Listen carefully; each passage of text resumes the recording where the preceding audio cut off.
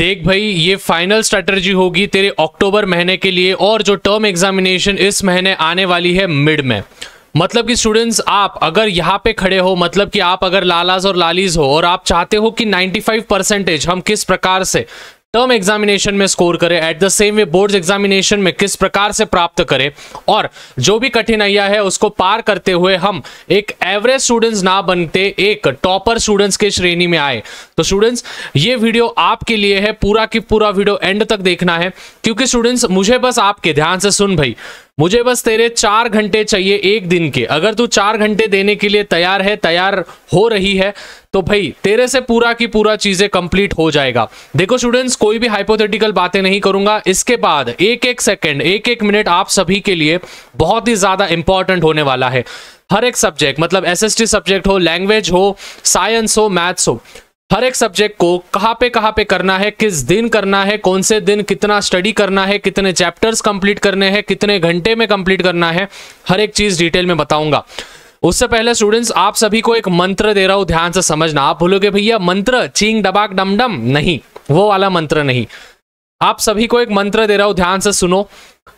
सभी को अगर ये पर्टिकुलर चीज़ आपको एग्जीक्यूट करनी है, अगर आपको टर्म एग्जामिनेशन में और आने वाले एग्जामिनेशन में अच्छे मार्क गिराने तो ये मंत्र आपको हमेशा ध्यान में रखना है।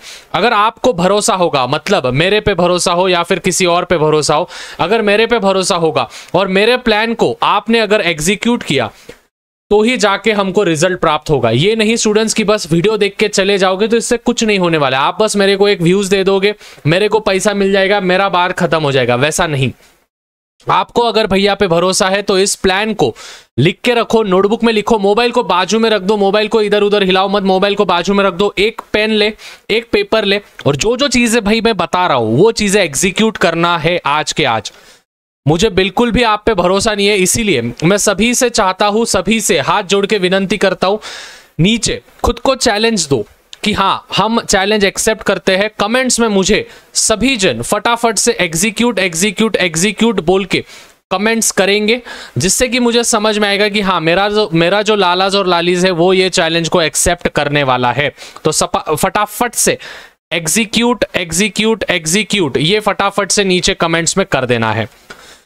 अभी सबसे पहले स्टूडेंट्स ध्यान से समझना। मंडे से थर्सडे एकदम अच्छे से बताऊँगा एक एक सेकंड इधर से इंपॉर्टेंट होगा प्लीज़ अच्छे से समझना। इधर उधर की बिल्कुल भी बातें नहीं होने वाली है। सबसे पहले, अगर अक्टूबर के महीने की बात करें स्टूडेंट्स तो हम सभी को पता है कि आपका फ़र्स्ट टर्म एग्जामिनेशन आ रहा है तो उसको बिल्कुल भी मैं छेड़छाड़ नहीं करूँगा। ध्यान से सुनना। सबसे पहले साइंस जो सब्जेक्ट है साइंस सब्जेक्ट को आपको हर मंडे और थर्सडे मंडे से लेके तो थर्सडे तक, कहाँ से कहाँ तक? मंडे ट्यूसडे वेनसडे थर्सडे चार दिन आपको साइंस करना है। मैंने जैसे बोला स्टूडेंट्स आपके मुझे चार घंटे चाहिए। चार घंटे का सेल्फ स्टडी मुझे चाहिए, जो कि मॉर्निंग नाइट और आफ्टरनून का सेशन मुझे चाहिए। ध्यान से सुनना। सबसे पहले स्टूडेंट्स मॉर्निंग से लेके मतलब मंडे से थर्सडे मंडे से थर्सडे क्या करना है? आपको दो घंटा आपको साइंस करना है। अभी, सबसे पहली चीज़।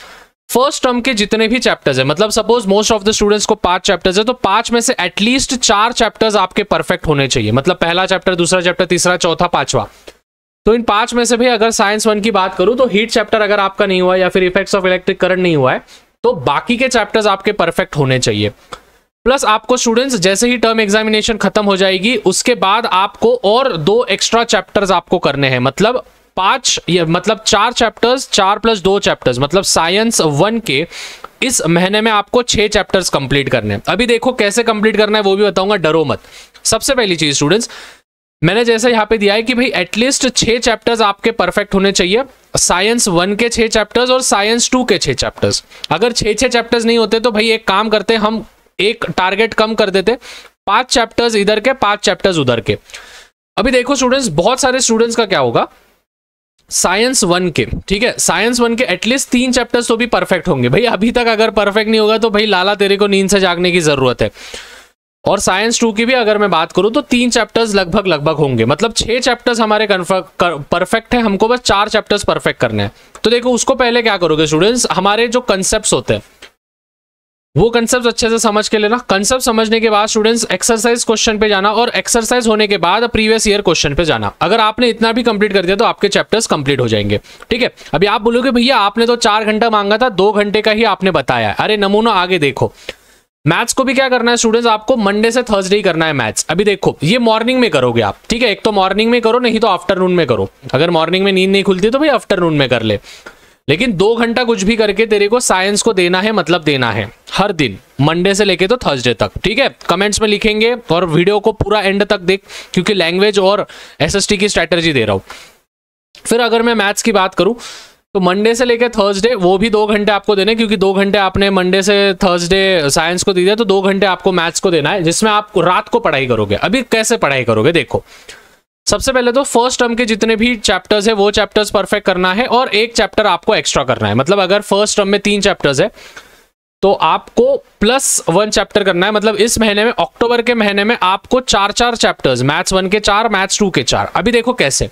हर दिन स्टूडेंट्स दो एक्सरसाइज करना है और उसको रिवीजन करना है डेली हर दिन दो दो एक्सरसाइज मतलब देखो, अगर मैं मैथ्स वन की बात करूँ तो पंद्रह से सोलह एक्सरसाइज होंगे। मैथ्स टू की भी अगर मैं बात करूँ तो पंद्रह से सोलह पकड़ के चलो।